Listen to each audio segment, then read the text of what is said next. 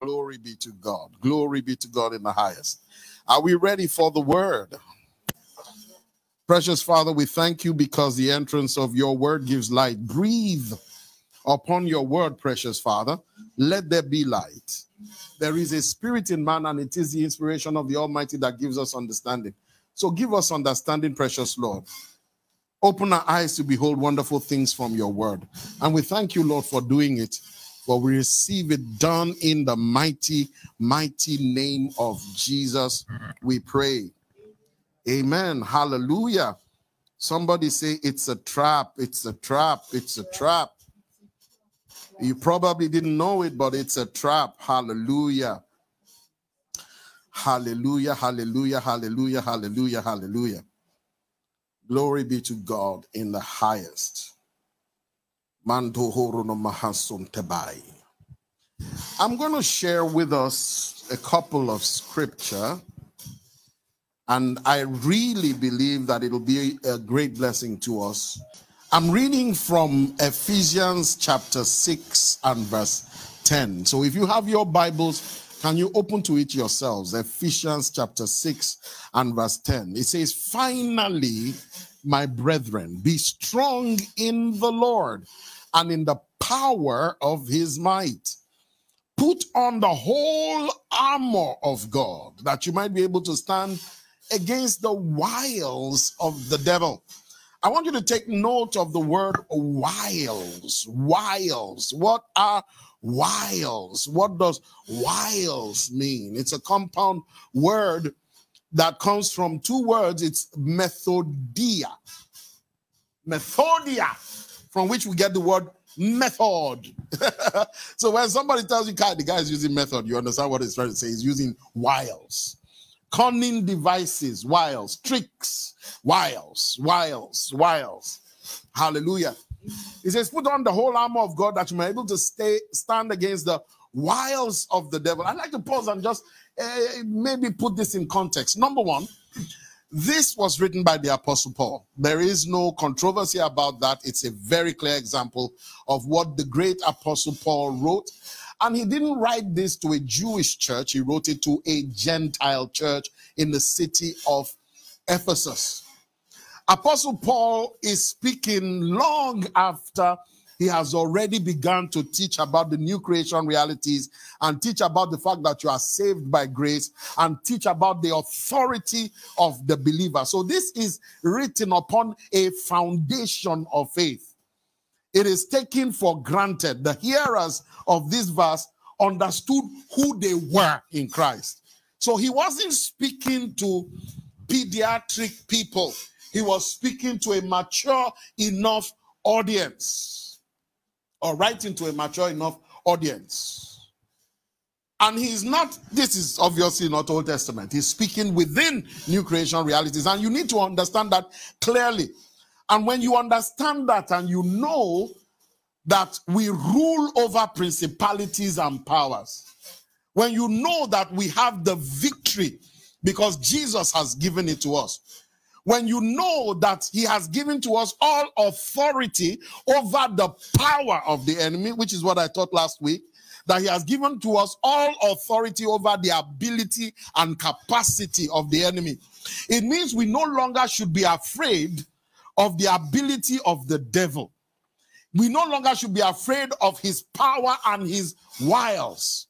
But there is something we have to be afraid of. There is something we have to guard against as New Testament believers. Authority does not override this. Is there somebody hearing what I'm saying? And it is the wiles, the trickery, the cunning, the deceit, hallelujah, of the enemy. Put on the whole armor of God.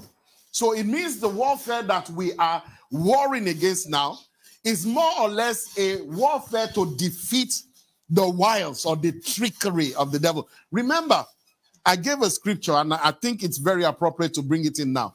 The Bible says the lion, I mean, the devil goes about like a roaring lion, seeking whom he may devour. And I express the fact that he goes about in the same manner in which the lion hunts. How does the lion hunt? The lion is a very thick and muscular animal. It's fast, okay, but it's not the fastest animals. Antelopes are faster than lions. Warthogs are faster than lions. You know, uh, Reeboks are faster than lions. And so on and so forth. Cheetahs are faster than lions.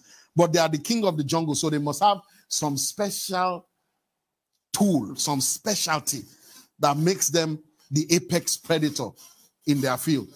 What is that? It's the manner in which they hunt. The lion has this terrifying roar, and it comes with some heavy low frequencies that get right into your guts. Very ferocious roar. So, you know what the lion does? It sneaks upon its enemy. He comes with stealth. It hides in the bushes. You don't know it's coming. You don't know it's the devil. And, and I want you to remember this. You don't know it's the devil. Mind those words. You won't know it's the devil coming for you until it gets really close.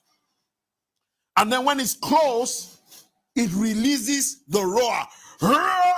And when it roars, the sound of that roar is so terrifying that it paralyzes the prey. Those few seconds when the prey is confused is when the lion has the opportunity to pounce. Now it says that the enemy goes about like a round lion means he sneaks up on you. He doesn't give you his complimentary card, I'm on my way. He doesn't put a public paid announcement. He doesn't send you a message on WhatsApp. He doesn't warn you. He doesn't give you a call to say, I'm on my way. He shows up, he sneaks up on you. And if you are not careful, you won't recognize that it is the enemy. Sometimes the enemy will sneak up at you as you. And that's what I want to share about today that it's a trap. Is there somebody hearing what I'm saying? That is a trap. He will sneak up on you as you. And if you are not careful, you will fall victim of yourself. It says, finally, brethren, be strong in the Lord and in the power of his might, not of your might, of his might. Put on the whole armor of God that you might be able to stand against the wiles, wiles, the deceit, the sneaking, and the sneakiness of the devil. It says, For we wrestle not against flesh and blood, but against principalities, against powers, against the rulers of the darkness of this world, against spiritual wickedness in high places. Therefore, because of this, bros, because of this, babe, take unto yourself the whole armor of God that you might be able to stand on the evil day, having done all to stand. Stand, therefore. You see, this generation, this current era in Christianity, is denying certain things that are dangerous to deny. We don't hear too much talk about hell these days. As a matter of fact, we don't even hear so much talk about heaven these days. We all seem to live in the here and now, and we live for ourselves and ourselves alone. A consumer culture has eaten into the church, into the fabric of the church, where it's about me, myself, and I, my breakthrough, my prosperity, my healing, my destiny, my helper, mine, my, my, my, my, mine, me, myself, and I. And so we ignore some very important things remembering that this was written to a New Testament church in new creation realities under the dispensation of grace. Here is Paul talking to them about demons. It's an old fashioned word when you talk about demons to many people today because demons are not real to them. It's stuff we we only hear about in Halloween. We watch on horror movies and and there, but it's not a real reality.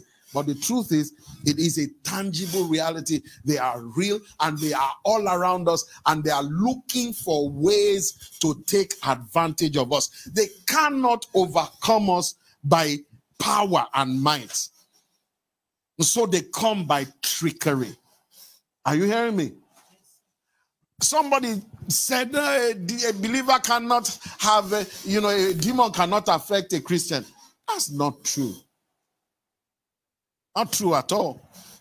A demon cannot own your spirit. I agree. But all through scriptures, you hear of them saying somebody was bound with a spirit of infirmity. Spirit speaking about a demonic power, spirit of infirmity, deaf spirit, blind spirit, lame, etc. A troubled soul like Saul was. To come under demonic influence simply means there is an active involvement of demons attempting to harass a person. And because they can't do it by right upon you, and they cannot do it because the might of Jesus is by far greater than their might. And it is in his might that we stand. Are you hearing me? So they can't do it by their might. So demons will always try to seek advantage over you through wiles through deceit. And I want to teach you about the number one deceit of the enemy today. And that number one deceit, or should I say the two number one deceits, the two most powerful in his arsenal, is unforgiveness and envy. Unforgiveness and envy. Hallelujah. Unforgiveness and envy.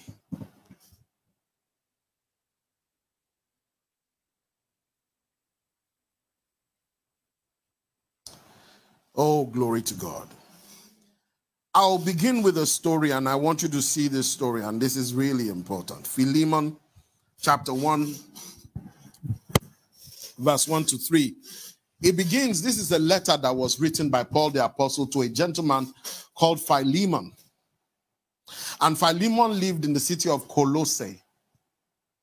Philemon was a disciple of Paul. He, he was born again under the ministry of Paul the Apostle. He had been brought up by Paul. Paul taught him what he knew about Christ and Christianity and labored over him in the past. While Paul labored over him in his house, Philemon was a relatively wealthy young man. He had a slave. In those days, they had slaves by indenture, they had slaves by birth and stuff like that. That doesn't make slavery right but they existed. And you know, the truth is that God brings change and reformation into our lives, precept upon precept and line upon line. You don't get born again today and your walk with God is perfect.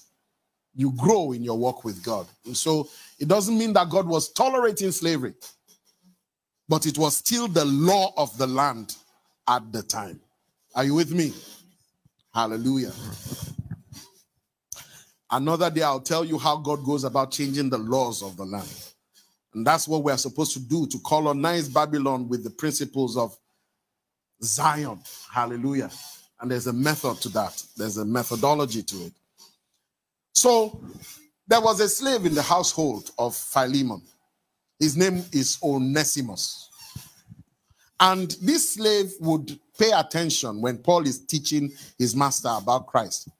And he listened and he listened and he listened and he listened. He understood the fundamentals. He was there when Philemon started speaking in tongues. He was there when Philemon began to was baptized in the Holy Spirit. Uh, Holy Spirit. He was there when Philemon was baptized in water. He was there when Philemon was taught the fundamentals of the new creation reality. He was there when he learned about the God that heals. He was there when he learned about the authority of the believer. So he's there, and the household of Philemon as well were all there.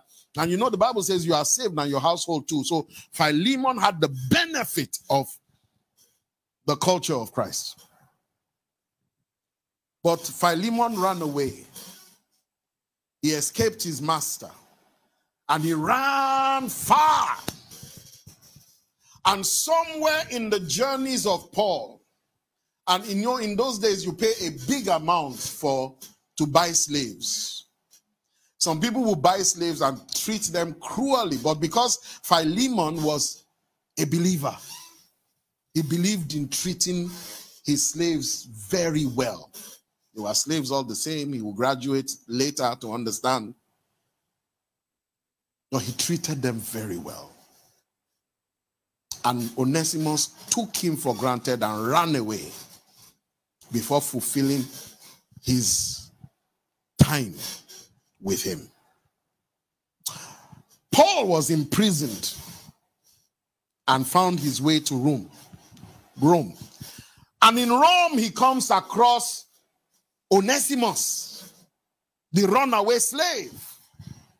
Now, runaway slaves then, if they are ever caught, sometimes they are killed, sometimes they are arrested and returned to their masters, and so on and so forth. But somewhere in Rome, where Onesimus had now made a new home, and who knows what he was doing? Maybe he was a gladiator, maybe he was, you know, a shoemaker, maybe he was a tradesman of some sort, but he's living there, hiding away. And he hears that the apostle Paul has been arrested and is now in the city of Rome. And the words and the teachings of Paul came alive in his spirit again. And he probably remembered how well Paul had treated him. So he sought out Paul in the prison. And Paul rejoiced to see him and received him. And he began to disciple him afresh. And he became one of the key people that ministered to Paul at a time when he was imprisoned, at a time when many people abandoned him. Here was Onesimus, the slave of this his old friend. And after weeks turned to months, maybe months turned to years, and Onesimus is now a mature Christian. He's now a minister of the gospel. By his own right, is now a father in the kingdom. Paul now talks to him and says, It's time for you to go back and settle your issues with your master Philemon. Now, Paul is at a strait between two because here he is.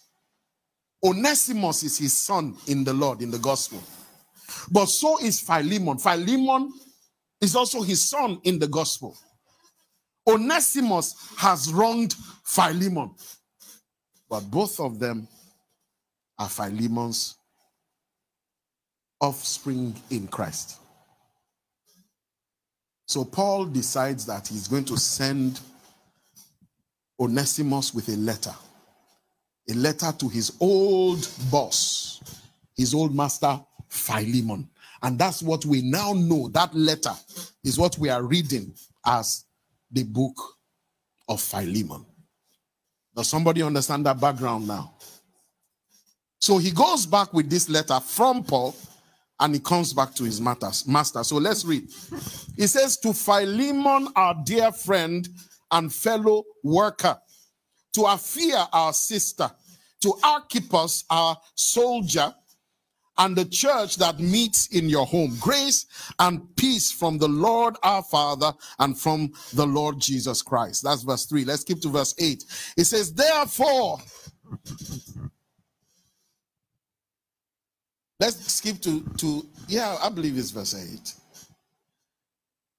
Therefore, although in Christ, this is Paul's words, hear him carefully. Although in Christ I could be bold to order you to do what you ought to do, yet I appeal to you on the basis of love. I then, as Paul, an old man, and now, and now also a prisoner of Jesus, I appeal to you for my son. He owns him. Do you understand what I'm saying? He puts his reputation upon Onesimus now. He didn't say, I appeal to you because of Onesimus. He says, I appeal to you for my son. So he places his mark, his signet upon Onesimus. For my son Onesimus, watch this, who became my son while I was in chains. Now, if you have a concordance that will give you the translations of words in Greek, you'll find out that the word Onesimus means profitable. Somebody say profitable. So he does a play of words here. He says, He became my son when I was in chains. Formerly, he was unprofitable to you, but now he has become useful to you, both to you and to me. If I was to say it with using the Greek word, he was saying, formerly he was on Onesimus to you, and now he has become Onesimus to you. Do you understand that play of words? In other words, before he has hurt you, before he has wounded you, before he has cheated you, before he has taken you on a ride, but now he has become useful both to me and to you. Let's read verse 15. And Paul begins to sound philosophical when he says in verse 15 and 16, perhaps the reason he was separated from you for a while was that you might have him back for good, no longer as a slave, but better than a slave, as a dear brother. He is very dear to me, but he is even dearer to you, both as a man and as a brother in the Lord. To cut the wrong, long story short, Paul was asking Onesimus, uh, was asking Philemon, forgive. You paid a lot of money. You might even still be owing the banks, but forgive. He may have stolen stuff when he ran away from your house, but forgive. He was supposed to have been a Christian at that time, but he valued his freedom more than his Christianity. And yet, Paul says, forgive. Is this making sense to somebody? You know, one of the things that really the devil uses to trick us, we only seem to forgive the people we convert. And I'm not talking about conversion to Christ. I'm talking about conversion from bad to good. We condition forgiveness upon reformation. So we will forgive you if you repent and if you turn away from your sinful ways. That's how we work. We forgive those who are really sorry. We forgive those who have changed. And that change, eh, our exam is more than WAEC, more than GCSE. You will prove to me beyond any reasonable doubt that you have truly changed, then I will forgive you. And that's because we miss what forgiveness is. We imagine that forgiveness means we now expose ourselves to those people, whether or not they are reformed, unrestrained, and unwisely, but that's not what forgiveness is. Forgiveness is a total release and it's not really the person you are releasing, it's yourself you are releasing from the bondage of pain, of darkness. Because if you don't really know, unforgiveness is the devil like a roaring lion sneaking up on you, using your own pain against you, using your own trauma against you, using your own sadness and sorrow against you. He comes really close. And by the time he releases his roars, his demon powers have come and invaded your life beyond what you can imagine. You know, the Bible says, where envying and strife is, there is every evil work. I want you to mark those words. Every evil work. Do you know what that means? It means unforgiveness and envy. Give satanic powers unfettered access into your life, into your body, into your thoughts, into your mind. It will run you ragged, waste you. Your intellect will become like puff puff. Your sound decisions will become irrational. Where envy and strife is, there is what? Every evil work. We think we are doing the person we are forgiving a favor, but the real favor we are doing is not to them, it's to us. You are doing yourself a favor when you forgive. When you forgive. Oh, I've been there, done that, I've spent the night. Hallelujah. Spend the night. So Paul says, Philemon, forgive. And then he says, forgive the person you didn't convert. In other words, you can't guarantee, but I am telling you that I have spent time with him. I have fellowship with him. He has ministered to me. Would you be willing to take my word for it? He says, accept him back, not for anything he has done, but for what I mean to you. Forgive him. He says, put it to my account. That's the way I like how it is written in the book of Philemon. He says, whatsoever he owes you, put it to my account. But remember that you owe me your very life. I like that. You owe me your very life. Does that sound familiar to you? Let me show you. Let me show you what it means. Let me show you what it means. Are we ready for it?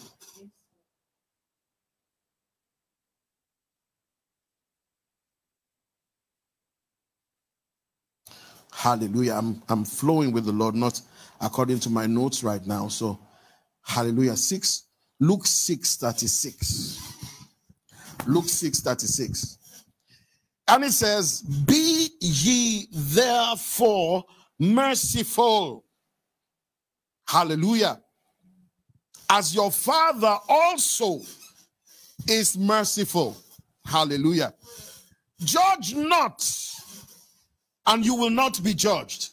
Condemn not, and you will not be condemned. Forgive, and you shall be forgiven. Wait, wait, wait, wait, wait. Forgive, and you shall be forgiven. No, no, no, no, no, no, no, no. We are all freely forgiven. We are all freely forgiven. You are right. We are all freely forgiven. But you break the flow of that forgiveness and unconditional mercy when you hold another person in forgiveness. Forgive and you shall be forgiven. So forgive not and you shall not reap the fruits of forgiveness in your own life. Is somebody getting that? So, really, when you forgive, who are you doing a favor? Yourself. Though Christ has forgiven you, you will never experience the fruit of that forgiveness because you have blocked the pathway by your own unforgiveness. And the next verse says, Give, and it shall be given unto you. Good measure, pressed down, shaken together, and running over, shall men bring to your bosom. For with the same measure that you use or you meet without, it shall be measured to you again. Do you know he's actually talking about judgment and forgiveness, not actually about money here? The measure with which you forgive. So you hold the measure. If you forgive in the bucket loads, you will receive forgiveness and mercy in the bucket loads. Hallelujah. If you refuse to forgive, then the enemy has taken advantage of you. And like a roaring lion, his emissaries begin to take possession of aspects of your life, take possession of your health, take possession of your mind, until you look like a caricature of what you once were. All because you allowed darkness into your own life. Somebody hear what I'm saying?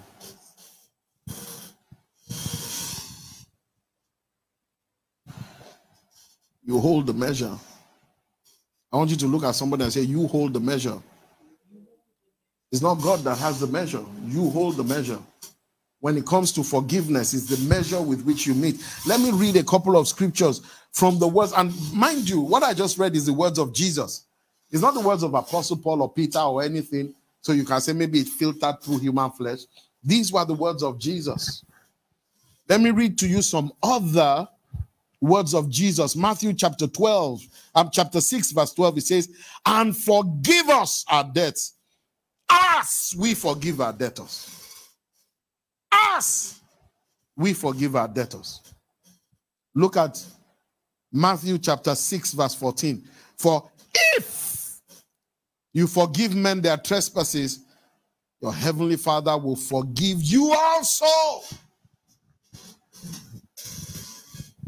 Matthew chapter 6, verse 15.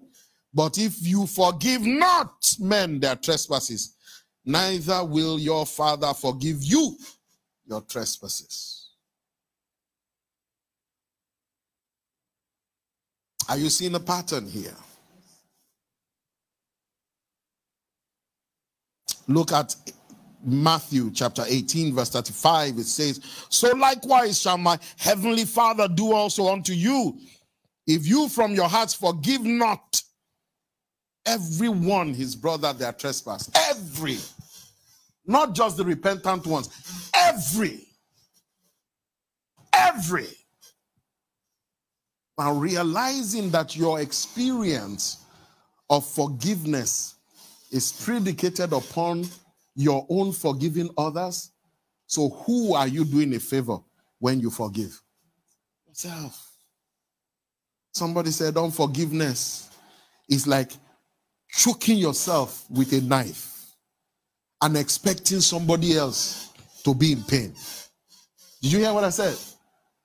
Unforgiveness. That's the person you want to you, you are you know you are holding in unforgiveness. That's him. But you take the knife and you choke yourself and you're expecting him to be the one bleeding. That's unforgiveness. Because the person in pain is you. The person who can't sleep is you. The person who can't eat is you. The person who can't experience joy in life is you. Unforgiveness will blind you, unforgiveness will rob you. And it's the same with envy.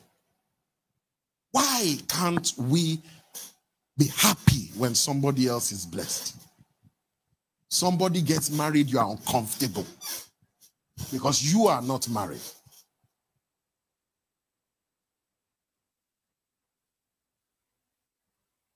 Somebody gets a new car, you find reasons to castigate him. It's probably from bribe money. Because you can't envy. Bible says where there is envy, when you begin to compare yourselves with yourselves, there is every evil work. If you are going to remember anything that I've taught today, I want you to remember two things. Number one, it's a trap. That unforgiveness is a trap that envy you know when we start focusing when it becomes about me you know all this time i had lost myself especially this new generation you know i've lost myself. Now i'm rediscovering myself. And then i'm going to make sure i make myself happy. I will no longer lose myself and self and self. In those days it used to be called selfishness. The very root of envy and sacrifice so much for everybody. Now it's about me. And you don't realize that it's a trap. I want you to turn to your neighbor say, It's a trap. It's a trap. The devil sneaks up on you. He doesn't come with announcement that it's the devil. He comes like that bestie of yours. He comes like that good friend of yours. He comes like your, your husband, and then he makes him hurt you. That's when the roar is released. And all of a sudden, your whole life revolves around the evil that person did to you. And you think you are justified. The sad thing about vengeance is it never satisfied. Even after you've taken vengeance, you are still in hatred and strife concerning the person you have killed. it doesn't free you. And all the while, you don't realize that it, all it was was a trap. It's you the devil was after. It wasn't ever about the person. Are you with me? It was never about the person. It was about your future. It was about your joy. It was about your welfare. It was about your sanity.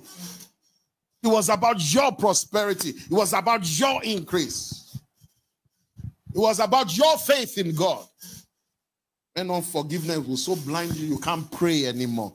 You can't go to church. It will rob you of your faith, rob you of your ministry, rob you of your family for unforgiveness. Because you didn't recognize that it's a trap. I said there are two things that I want you to remember. What's the first one? It's a trap. It's a trap set for you, not for that person, for you. And number two, you hold the measure. Don't forget those two things. Number one is a trap. Number two, you hold the measure. Please switch this one off. Hallelujah. You hold the measure. It's in your hand.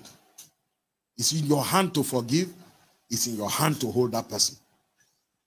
It's in your hand to let go and let God. But it's also in your hand to hold back. And when you do, you fall into the snare of the fowler. Hallelujah. Is somebody hearing this? You hold the measure. You know, somebody may ask me, how do we forgive?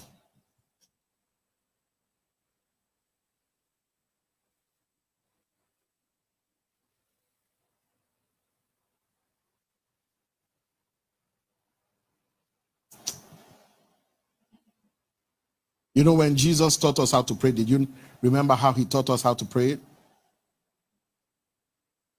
They forgive us our trespasses, as we also forgive those who trespass against us. Hallelujah. The key to forgiveness is to take our eyes off the person who has wronged us and look at the person who has forgiven us. You see it in the ministry of Paul when he wrote that letter. He said to Philemon, Forgive him.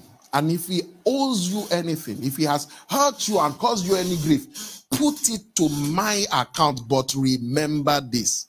This is the key to forgiveness. Remember this that you owe me your very life. In other words, we forgive because we are forgiven.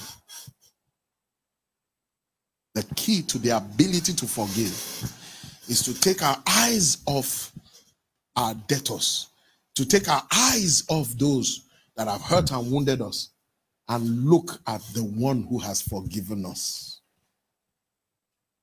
Are we deserving of mercy? Have we blown it before? Judge not, he says, that you will not be judged. If we could all have your life played back. Seeing every evil you've done. Imagine how embarrassing that will be.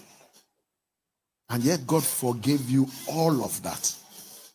The only key to forgiving others is to remember what you have benefited by being forgiven. Hallelujah. We forgive because he forgave us. While we look not at our debtor, we look not at the wretchedness of the person's sins, but the abundant glory of God's loving kindness and tender mercies that Paul the apostle will say, Oh, wretched sinner that I am. Oh, wretched sinner that I am. All through the week, that's all the Lord has been ministering to me again and again and again. that, bros, it's a trap. I remember when I got into unforgiveness, I didn't know it was me the devil wanted to destroy. When somebody just began to misbehave and then he just rallied so much around himself and began to destroy everything that we were trying to build in God. Then it became, became personal. began to attack me. And I got upset, I got hurt, and I got wounded. I felt betrayed, but the, the angrier I got, the worse the situation became. I tried to see God, and God would show me from His Word. Just let it go, but I couldn't. I kept getting more wrapped up in it, more wrapped up in it, more wrapped up in it. It became my mission. Nothing else was important. We were not going to go forward until we have dealt with this issue. And God says, just leave it. Leave it and let it be. Until He began to define my life, filter into everything I preached. Made me despair of life itself to the point where I prayed the prayer of Elijah. You know the prayer of Elijah? God, kill me. No, he didn't take a knife to kill himself, he didn't take a gun to shoot himself. Christians do it with more savvy. We pray. God, kill me. Just, just, just end me. I'm tired of this. I imagine that, that I prayed that. I don't want this anymore. And unforgiveness takes a hold and a root in your heart.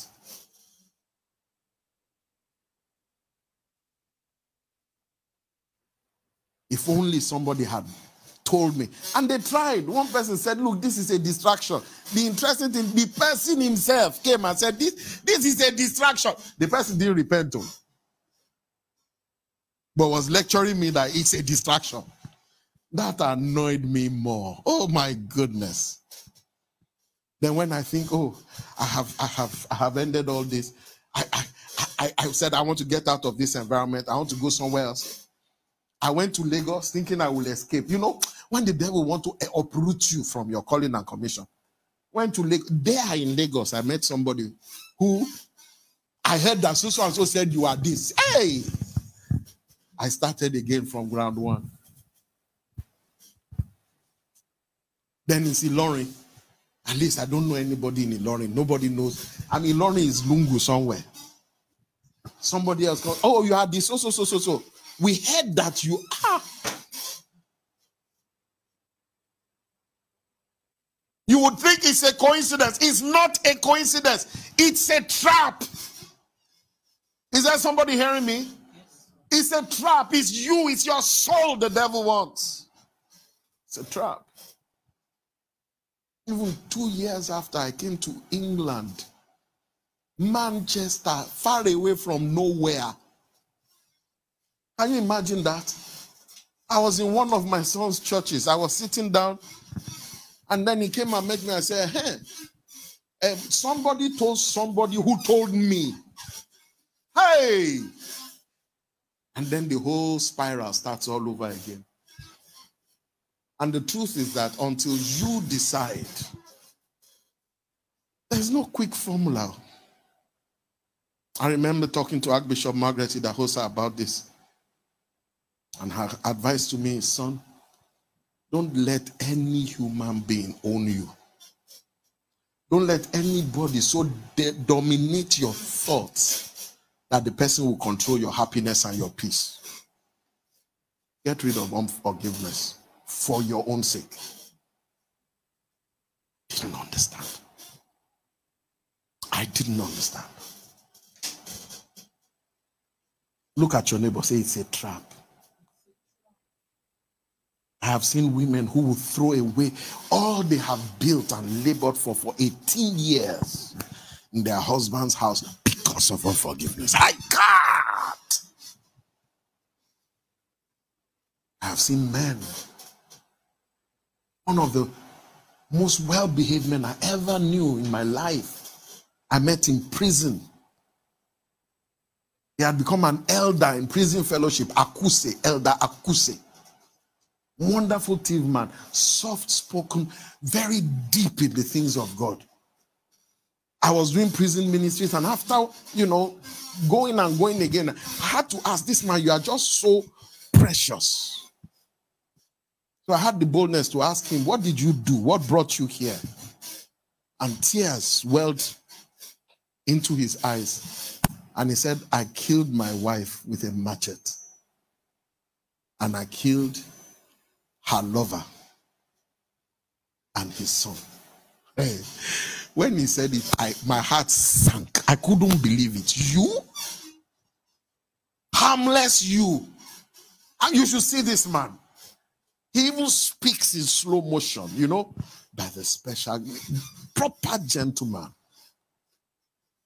Proper gentleman. Unforgiveness will rob you of your values. It's a trap. It's a trap for your soul. It's a trap.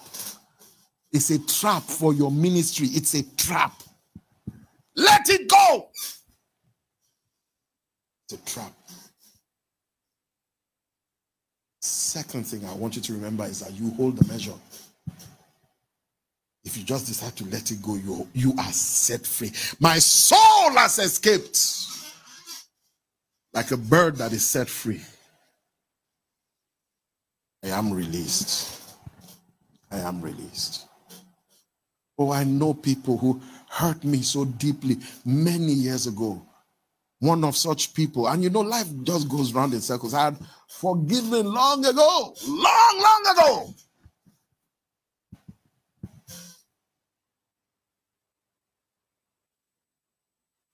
This person hurt me to the core of my being. I lost total self confidence. I'm talking of a long, long, long, long, long time ago now. Relationship, relationship issue.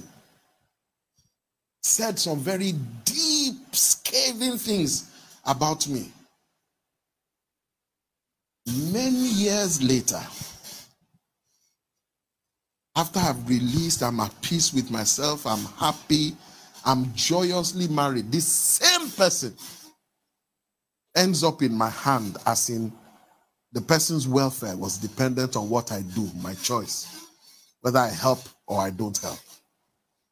And I thought to myself, if I had not forgiven, there would have been no way. But I didn't give it a second thought. I helped. My wife helped. Hallelujah. The Bible says it is better to give than to receive. That's the fruit of forgiveness. I went back after the whole episode and I cried to God and I said, God, I thank you that you gave me an opportunity to bless this person. I never asked for anything. I didn't ask for an apology. I don't desire it. I don't need it. I don't want it. I've forgiven long time ago. God has given me a Manasseh miracle. You know what a Manasseh miracle is? The kind of miracle that will make you forget. What the brothers did to Joseph was so painful, sold him into slavery, sentenced him to death,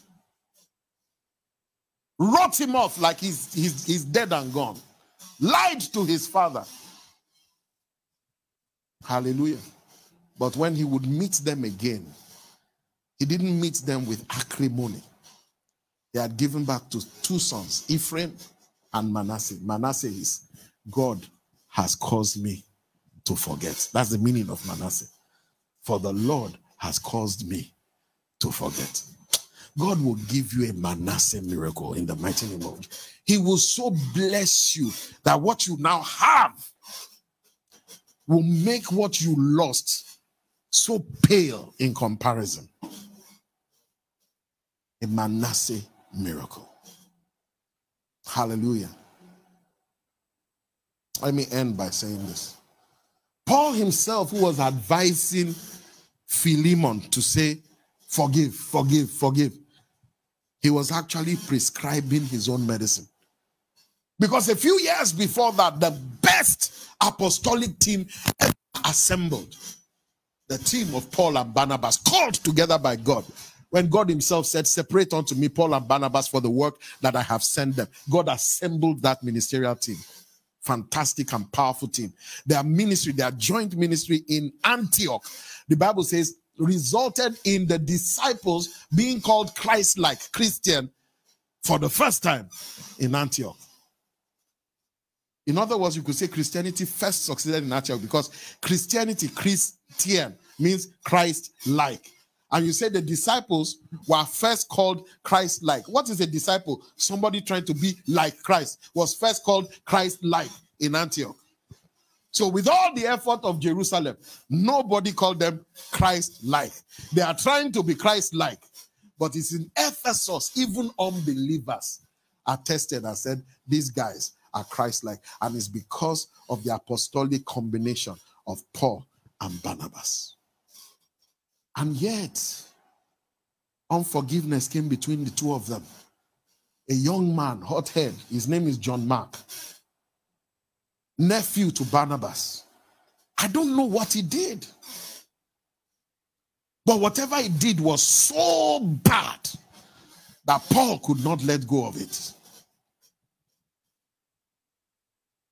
Later, Paul would testify and say, He abandoned us. How can we take somebody who abandoned us, who, who the cares of this world was more important to him than the cross of Christ? That's the words of Paul, the apostle, concerning John Mark.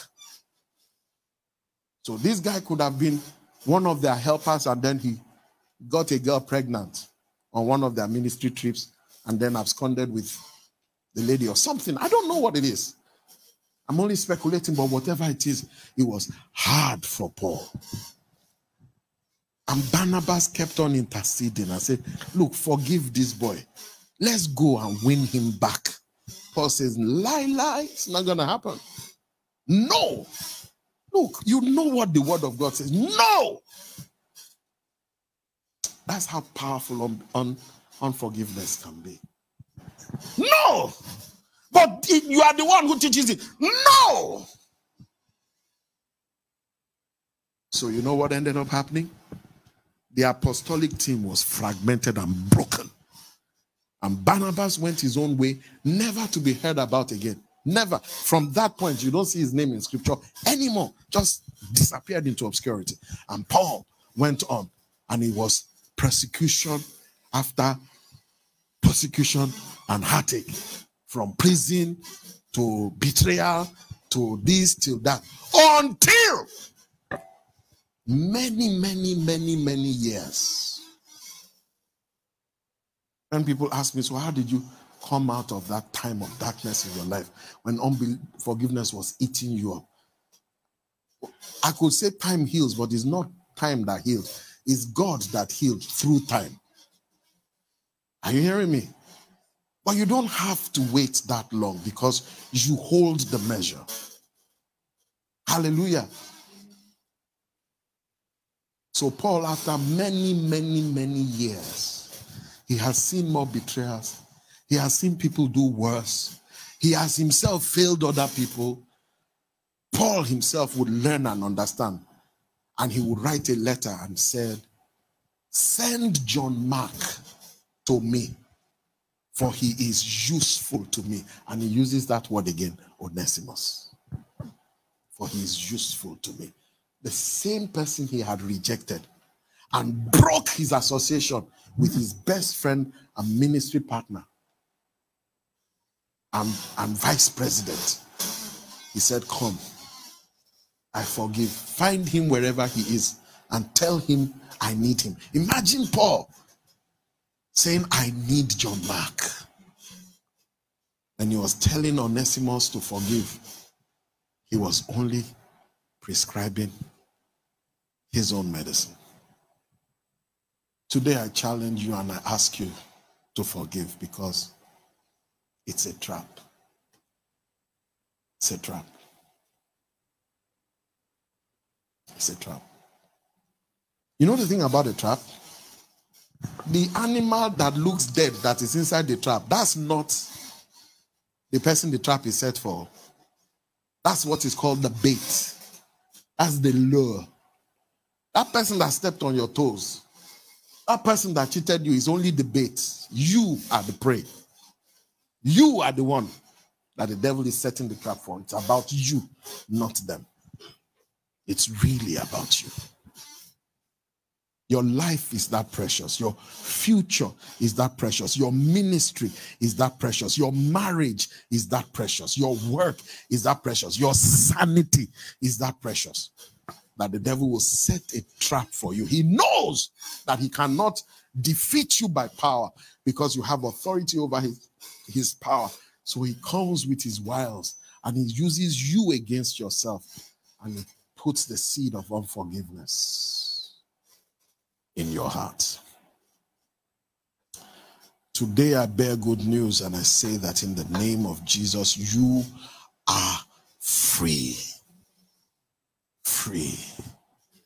Precious Father, in the mighty name that is above every name, I pray for that person at the sound of my voice for a restoration of peace, for a restoration of peace, a release from the snare of the devil.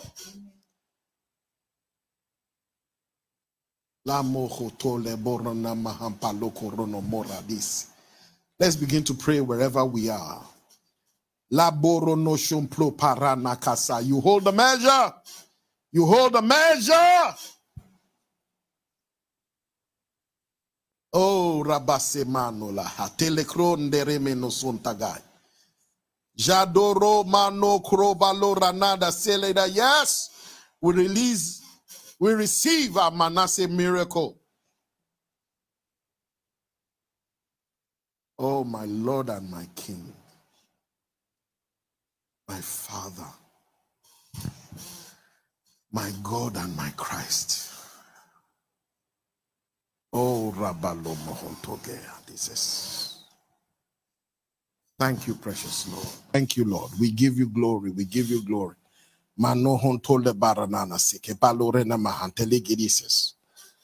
Precious Lord, I pray for my brother, my sister, who is hurting and wounded in his or her heart, carrying a weight and not knowing he has or she has fallen inside a trap.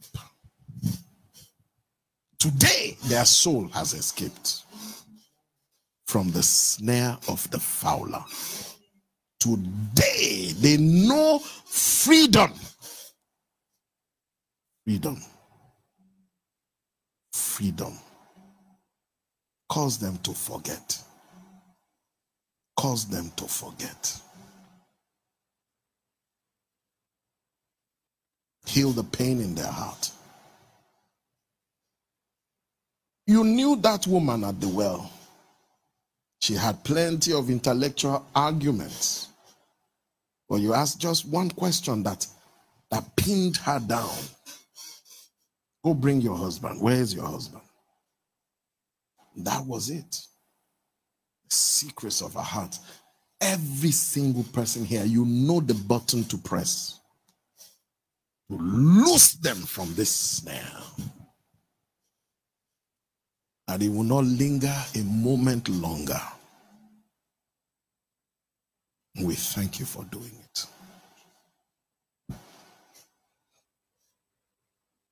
We forgive. We forgive. Thank you, Father.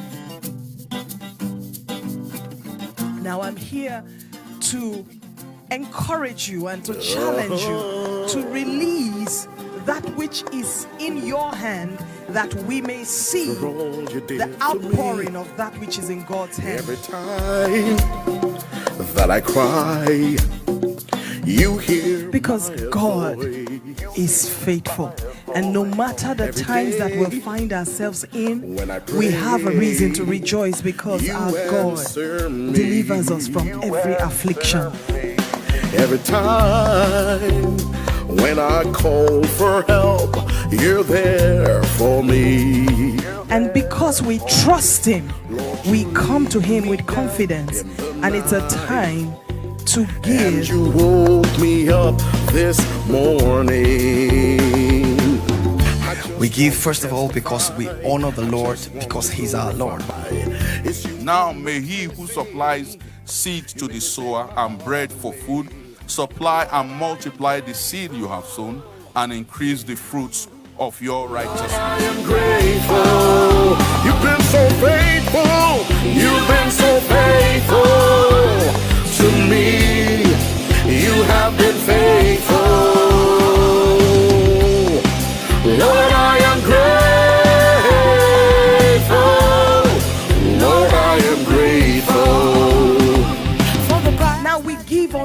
Not out of compulsion.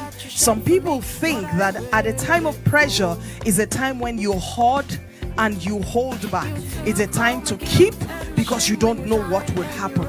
But I challenge you when you dare to release your faith, to give unto God, you are giving God an opportunity to manifest. where you died.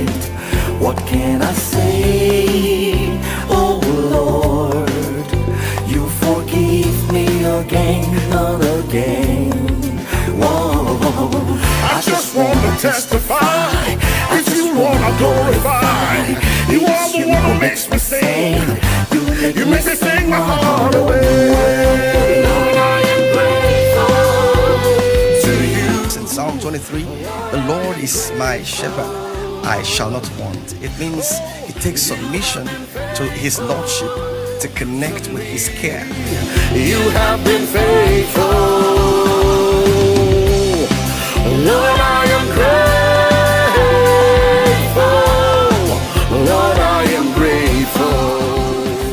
I want to encourage you right now to join us if you are persuaded to do so. Give right now, and uh, as I speak, uh, the number and the account details is being scrolled through your screen. Pick up your device. Oh, I know it's already with you. Make that transfer now, and God will bless you in the name of Jesus.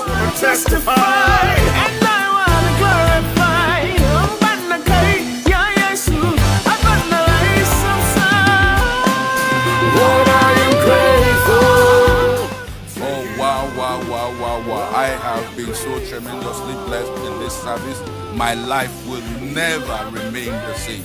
I know the same is with you also, wherever you are watching us from. Now, before you go, don't forget, like our Facebook page, and every time you connect, go a step further to share that page to your friends and on your, on your own timeline so you help us take this service further and help many more people to connect with us faster. Thank you so much.